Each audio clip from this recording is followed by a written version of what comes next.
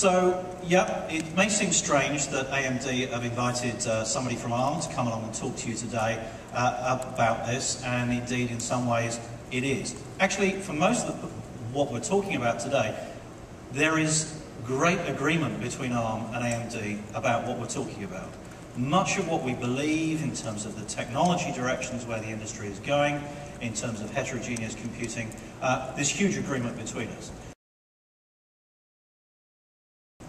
Long, long time ago in a galaxy far, far away, um, one of the founders of ARM, who's now the CTO, Mike Muller, went to Microprocessor Forum and he got given this lovely little prize. It's one of these Perspex blocks uh, which contains potted uh, dies from all of those microprocessors uh, which were being launched that year in 1992. If you look at them, count the architectures, um, you'll see 11 architectures in common use in 1992.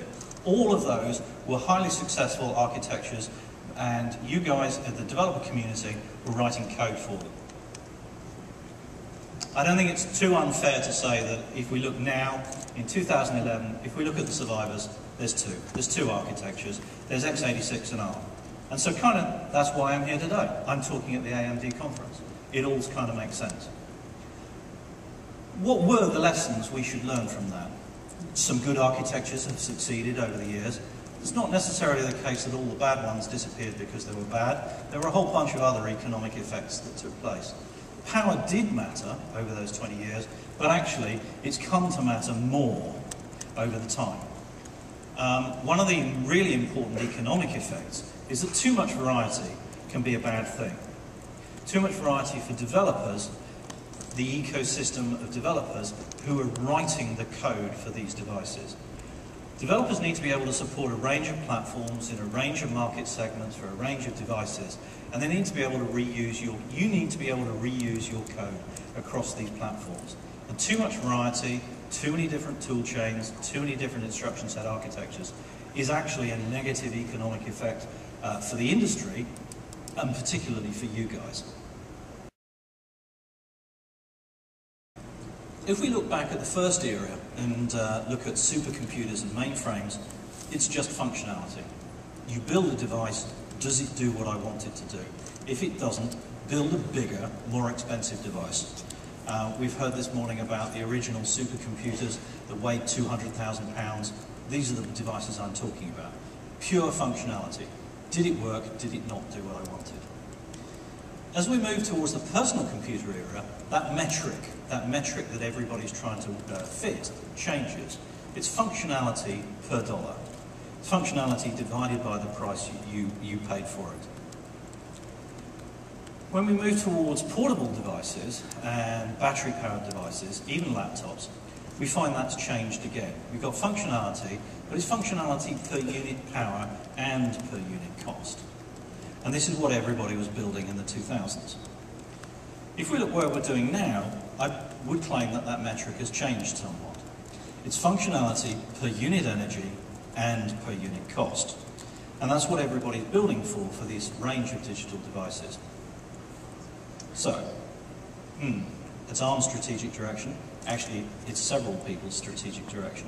Functionality divided by energy divided by cost. The tricky thing is that this is a very hard metric to optimize for. It's really quite complex. Power affects pretty much all aspects of design, and several that you hadn't thought of when you first designed it. The good news is, if you crack this design metric, you own a whole bunch of the simpler metrics as well. And I'll come on to talk about why getting this metric right, functionality divided by energy divided by cost, works so well for so many market segments and why you need to care about it. So you might think servers is the place that uh, nobody worries about power. But actually it's not the same. It, it's just the same. They worry about power. It's just the size of their numbers are a bit bigger than we're used to. Um, getting more than 10 kilowatts of power into a, a 19-inch rack is really, really hard. Getting 10 kilowatts of heat out of a 19-inch rack is even harder. The server guys actually build these things together uh, into uh, shipping containers, and getting more than about 500 kilowatts of heat out of a standard shipping container is, is real hard as well. These guys are now spending more money on power in and more money on cooling out than they are on the actual hardware themselves. So power is pervasive. Power solves everything that we're trying to do, not just in the one watt environment that people think of in, in, in mobile phones. As I say, even the server guys sometimes struggle to build, build data centers where they can't get power from the grid. And it's no accident that people are now building these data centers in places with lots of cold water, preferably cold air as well, uh, next to uh, areas of cheap power generation like uh, hydroelectric power stations. I understand Oregon is, is, the, uh, is the place of choice these days, but I'm sure it's going to move to ships offshore in the Arctic before Moore's law doesn't anymore dictate what we can and cannot do. In the past, uh, the silicon foundries, uh, like Global Foundries, people like that, um, every year they produced a new silicon process and that, and Moore's law was its reflection of that capability, gave us PPA improvements every year. Power, the power went down, performance, the performance went up, uh, the area got smaller, it was all fine. So we just got bigger and faster, all good stuff. Not anymore.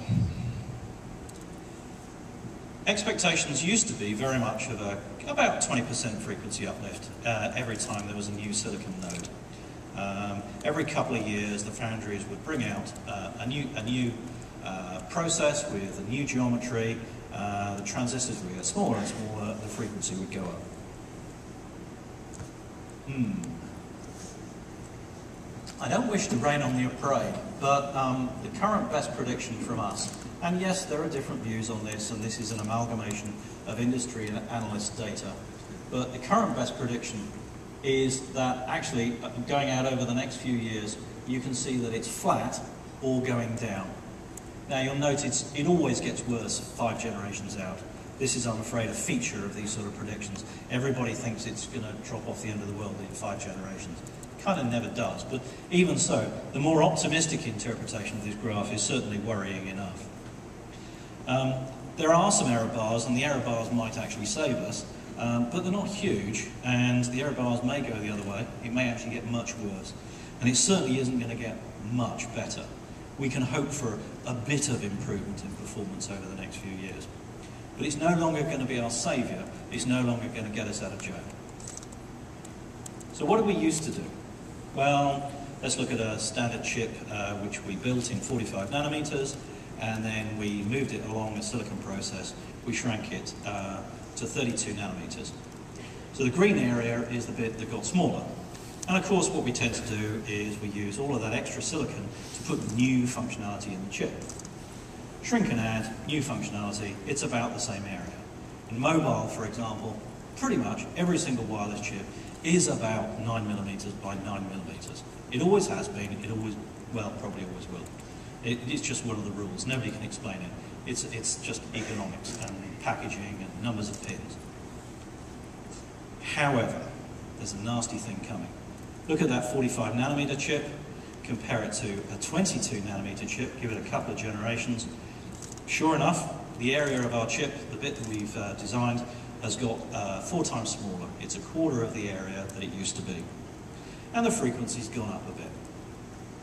Power, however, hasn't really changed significantly. Don't get too hung up on these numbers. The numbers are exactly wrong, roughly right. Don't, don't, don't get too hung up on it. Hmm.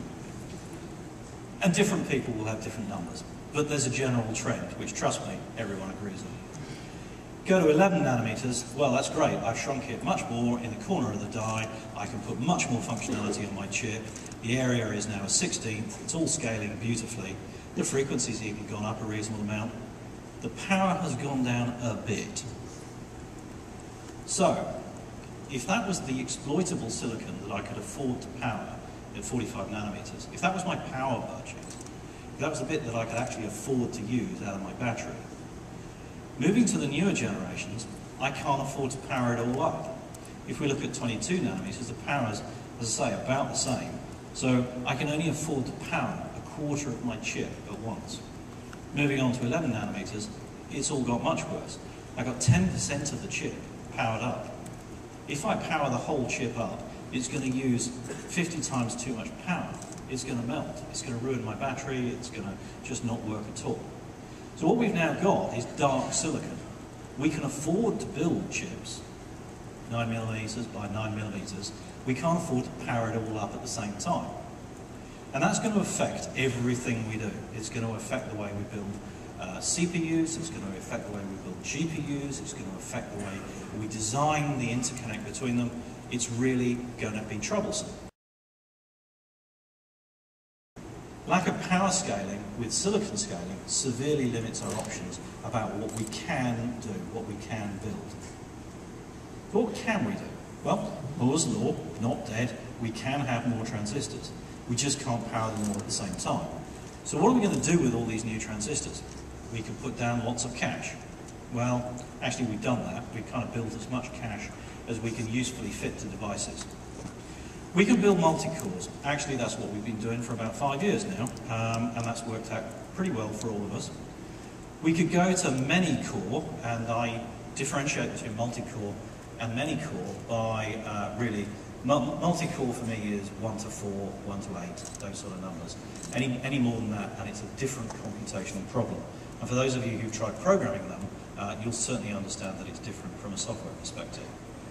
We can fit domain-specific processors, by which I mean processors designed uh, specifically to solve certain computational problems. Could be a video processor, could be a graphics processor, audio-specific processors. Uh, there are any number out there which we can uh, offload processing power to and get them to do that computation in a, in a more energy efficient way.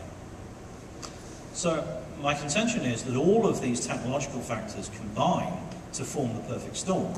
It's all about heterogeneous processing. It's the only game in town. It's the only way we can use all these transistors effectively to provide you, the developer community, with systems that will execute your code in a, in a better way, a more efficient way, a faster way, you will be able to utilize with applications that we haven't even thought of yet to provide a more compelling user experience. Heterogeneous processing, handing things off to different types of processors for different types of workload, and aggressive power management. Because as I said, we can't afford to power it all up at the same time.